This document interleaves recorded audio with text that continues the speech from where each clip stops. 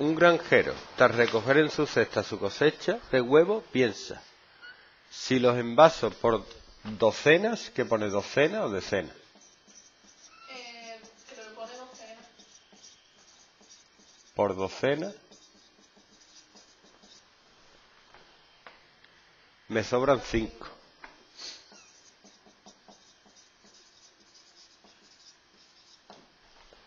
Si tuviera uno más, Si tuviera uno más, podría envasarlo exactamente en cajas de 10. podría envasarlo en cajas de 10, ¿no? Sí. Casi he recogido 100. Casi he recogido 100. ¿Cuántos huevos tiene? Dos. ¿Qué es así? Dos. Yo no entiendo. Si Es un número. Si lo envaso por docena me sobran 5, quiere decir que si yo cojo el número que sea y lo divido entre 12, no sé qué me da, pero el resto va a ser 5. ¿Vale? ¿Y a, ver, ¿a qué se refiere si tuviera uno más? Si tuviera 13. No, cada- si tuviera un huevo más de los que tiene, Ah, uno de... podría envasarlo en cajas de 10. ¿Eso qué quiere decir? Que le sobran 9. Si tuviera uno más, tendría que pasar un grupo de 10. Entonces puede eh, hacerlo en grupos de 10 y le sobran 9. No entiendo. Sí, si tiene uno, si tiene uno más, puede envasarlo en cajas de 10. Y ahí no pienso en el enunciado. No, no, no. Esto ya otra condición. de 19, ¿no? No. Si tuviera uno más, podría envasarlo en cajas de 10. Ya está. ¿Podría envasarlo en cajas de 10? Tuviera uno más. Sí, pero puede tener 9, 19, 29, 39. tenía ¿Vale? Claro, entonces, si lo divido entre 10, me va a sobrar 9.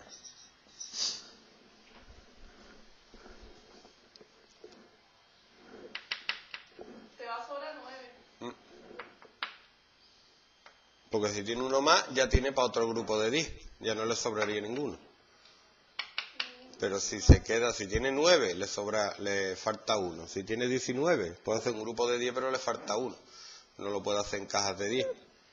Entonces ahora eso que sería hacerle... El mínimo común múltiplo. de 12. No, de 5 y 9. Porque el número que sea, tiene que ser. Espérate. Tiene que ser múltiplo de 5 y múltiplo de 9. Para que le sobren 5 o 9. No, tiene que ser múltiplo de 5 o múltiplo de 9. Para que le sobren 5 o 9 siempre. Que múltiplo de 5 se puede dividir entre 5. Y si lo divido entre números me van a sobrar 5. Y si lo divido entre 9, puedo hacer grupos de 9, pero siempre me van a sobrar 9. Entonces ahora sería 5 por 3 al cuadrado. Sí. 5 por 3 al cuadrado. Que es 45, pero 45 es muy poco. Dice que tiene. Casi ha recogido 100. No, no es. Así no es. Pues entonces sería 90 y 90 sí se puede hacer en grupos de 10.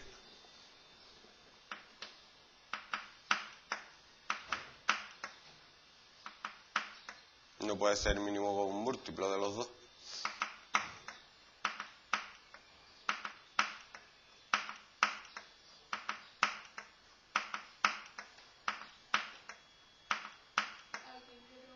Pues lo voy a hacer por la cuenta de la vieja. Aquí me mandaron uno habían cogido de internet. Eh, no, no, no, no, a mí no me dé pista ni nada. Voy a coger múltiplos de 12. 12, 24, 36, 48, 60, 72, 84, 96, 108, 120. Como es cerca de 100, ya para que voy a hacer más. Voy a coger múltiplos de 10. 10, 20, 30, 40, 50, 70, 80, 100, 110 y 120. Ahora, si me tienen que sobrar 5 al dividirlo entre 12, ¿qué pasa? Que tiene que ser 5 más de alguno de estos. ¿Sí o no? De lo que tiene ahí, 5 más. Ni- De alguno de los que tengo aquí, 5 más. Como está cerca de 100, me coge.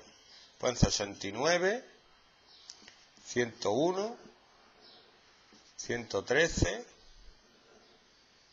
y 125. 101 no puede ser porque no ha recogido 100. No, o sea, no sabe 100. No. No, está cerca de 100. Ah, verdad, casi he recogido 100. Entonces podría ser 89.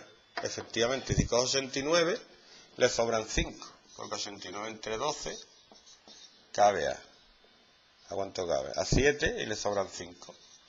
Y si cojo 89, entre 10, puedo hacer 8 grupos y le sobran 9. Así que tiene que ser 89. Esto no hace falta. Forma que lo hemos hecho. Hemos buscado múltiplos de 12. Y le hemos sumado 5 porque me tienen que sobrar 5. Y luego hemos usado la otra condición para elegir de esto en cuál te sobran 9. O en cuál te falta uno. Si tuviera uno más, lo podría envasar en cajas de 10. Si tuviera uno más, 90 lo podría encajar, lo podría envasar en cajas de 10. Método. Mínimo un múltiplo, máximo un divisor. Lo hemos intentado por ahí, no,